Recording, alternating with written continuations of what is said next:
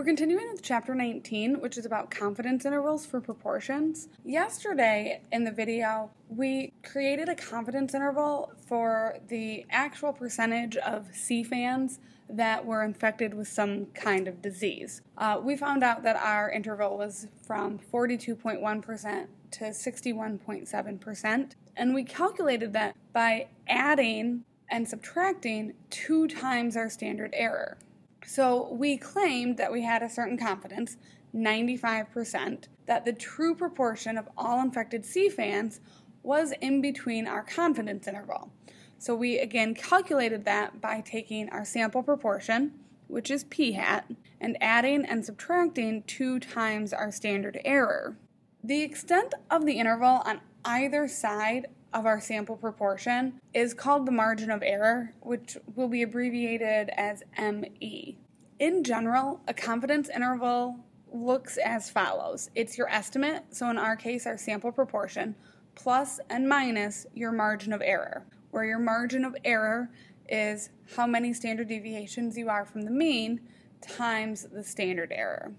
And again, the margin of error is how far you are above and below what your sample proportion was. Continuing talking about margin of error, we're going to look now at certainty versus precision. Our margin of error for 95% confidence is two standard errors. We take our standard error and multiply it by two. That gives us our margin of error. If we wanted to be more confident, we have to make our margin of error bigger we could be 99.7% confident if we make our margin of error three times the standard error. So now instead of multiplying by two, we're multiplying by three. That makes our interval wider in that case. The more confident we are, the larger our margin of error is going to have to be, and therefore the wider our interval will be. We could be 100% confident, but the only way we can be 100% confident is if we say that some percentage of sea fans are infected. So by saying that it's between 0 and 100%, then we can be 100% confident. But that doesn't help us.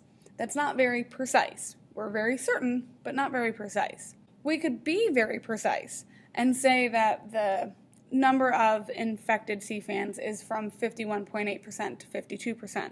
But we won't be very confident of that, so we won't have a whole lot of certainty here.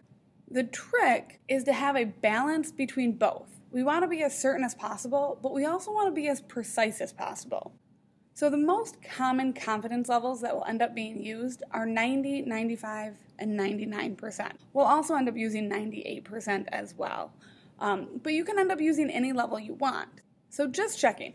Let's think about what a margin of error actually is and how that affects our interval. So, if we think about a 95% confidence interval for the proportion of US adults who may switch their vote.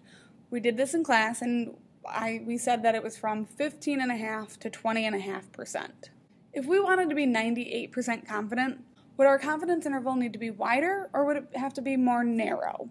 Because we're more confident, our margin of error is going to have to increase. By increasing our margin of error, our interval will have to be wider. Our margin of error was about 4%.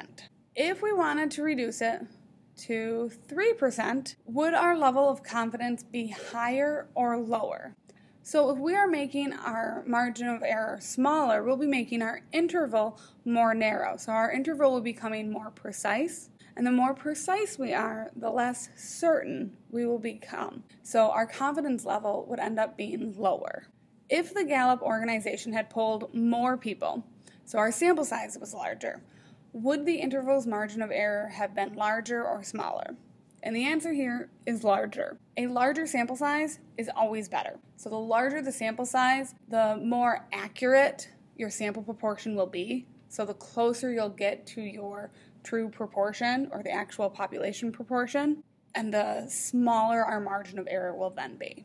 Looking at an example, your local newspaper polls a sample of 330 voters, finding 144 who say they will vote yes on the upcoming school budget. Create a confidence interval for the actual sentiment of all voters. Use two standard deviations, and that should say standard errors, I'm sorry, and concentrate on the interpretation. The first thing we need to do is find out what our sample proportion is. So, our sample proportion p hat, is 144, because that's how many said yes, out of our grand total, 330. So this gives us a value of 0.436. So then q hat is 0.564, and I found that by doing 1 minus 0.436. Once we find this, we need to find our standard error. So our standard error is equal to the square root of p hat times q hat all over n, which is 330. And this gives us a value of 0.027. Once we find our standard error, we can find our margin of error. So our margin of error is 2 times my standard error. This gives us a margin of error of 0.054. Once we have our margin of error, we can then find our confidence interval, and our confidence interval, which I'm abbreviating CI, will be our p hat plus or minus our margin of error. So it will be equal to 0.436 plus or minus 0.054. This gives us a confidence interval of 0.382 to 0.49. So 38.2% to 49%. So this ends up being our confidence interval. But note that we want to concentrate on the interpretation. So identifying what the confidence interval is only gets us so far. We really are focused on what does the confidence interval actually tell us.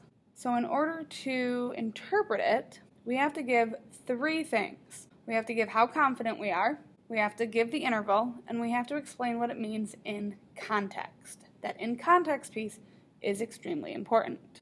So the way we would interpret this is by saying based on our sample, because remember this is only based on our sample. If we were to base this on a different sample, we would get a different confidence interval. So based on our sample, we are 95% confident that between 38.2% and 49% of all voters will vote yes on the upcoming school budget. So that's how we would interpret it. Again, it needs three things. So when you are solving these problems on a quiz or a test, your confidence interval is worth however many points, but the interpretation is worth three. You need to have your confidence level, what the interval actually is, and then what it means in context. Those three things must be provided. Critical values. So, so far, we've really talked about our margin of error by being one, two, or three standard deviations from the mean. And specifically, we've really only looked at two standard deviations from the mean, but that's using our 68, 95, 99.7 rule. Note that the most common confidence intervals were 90, 95, and 99. Neither 90 or 99 are exactly one, two, or three standard deviations from the mean. This means that we actually have to use critical values. In our sea fan example, we use two standard errors to give us a 95% confidence interval. The number of standard errors, so that 2, is called the critical value. So, however many standard errors you are from your center value, your mean, or your proportion, that's your critical value. Since ours is based on the normal model, we denote it with a z and an asterisk because that 2 is telling us we're two standard errors away, and the number of standard errors we are away is our z score.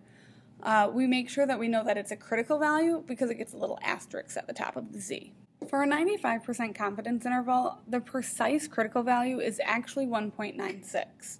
It's not exactly 2 because the normal model is an estimate, so it's approximately 2, but if we want to be more precise, and we do, it's going to be 1.96. So from here on out, we're going to use 1.96 as our critical value for a 95% confidence. What that means is that 95% of the normal model is found within 1.96 standard deviations of the mean. We've been using 2 from our 68, 95, 99.7 rule because it's easy to remember. But for any confidence level, we can find the corresponding critical value from a computer, our calculator, or the z score table because again the critical values are just a z score. To find the correct values you have to use the correct cutoffs using the normal model. So for a 90% confidence interval your critical value is 1.645. For 98%, your critical value is 2.326, and for 99%, it's 2.576. Now, I have here a diagram showing the 90% critical value. And I want to just explain where we get these values from. So here's our normal model. A confidence interval, remember our sample proportion is in the middle. We're saying that's our mean. So our confidence interval is even on both sides. So our confidence interval is right in the middle of the normal model.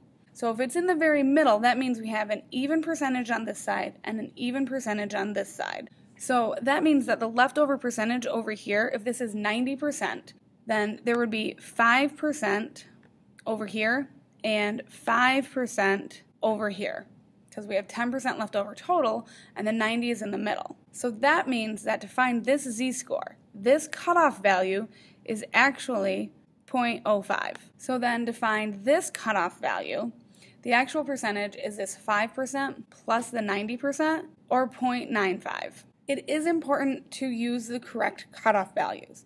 So the cutoff value is always going to be basically half of what is left over added on. For 90%, I find the z score for the 95% cutoff. To find the critical value for 98%, I would use a cutoff value of 99. And to find the critical value for 99%, I would use a cutoff value of 99.5. Again, I'll explain this a little more in class tomorrow. But let's look at an example for now is equal to 0.27. Therefore, Q hat is equal to 0.73. And then I can find my standard error by calculating the square root of 0.27 times 0.73 over 53, because 53 is my sample size. And I can determine that my standard error is equal to 0.061. So I'm going to need my standard error to create these three different confidence intervals. So the first confidence interval is a 95% confidence interval for the actual improvement rate. So if I'm going to create a 95% confidence interval, again, a confidence interval is equal to your p hat plus or minus your margin of error. In this case, my p hat is 0.27. My margin of error is going to be my critical value, and for a 95% confident, my critical value is 1.96. So this will be 1.96 times my standard error of 0.061. So this becomes 0.27 plus or minus 0.12, and it gives me a confident, confidence interval of 0.15 to 0.39. The next confidence interval is a 90% confidence interval. For a 90% confidence level, our critical value is 1.645. So this time, my margin of error will be equal to 1.645 times my standard error of 0.061. This gives me a margin of error of 0.10. So then my confidence interval is equal to my sample proportion plus or minus my margin of error. So I get a confidence interval of 0.17 to 0.37. Note when I became less confident, my confidence interval became more narrow and became less wide. Finally, we want a 98% confidence interval. To be 98% confidence, I have to have a critical value of 2.326. So my confidence interval will be my sample proportion plus or minus 2.326 times my standard error. Because again, this right here is my margin of error. So this becomes 0.27 plus or minus 0.142, which gives me an interval of 0.128 to 0.412. And note when I became more confident, I ended up with a wider interval. Because again, the more confident you are, the wider your interval. The less confident, the more narrow and or precise your interval is. This is all I have for today. I hope you have a great night.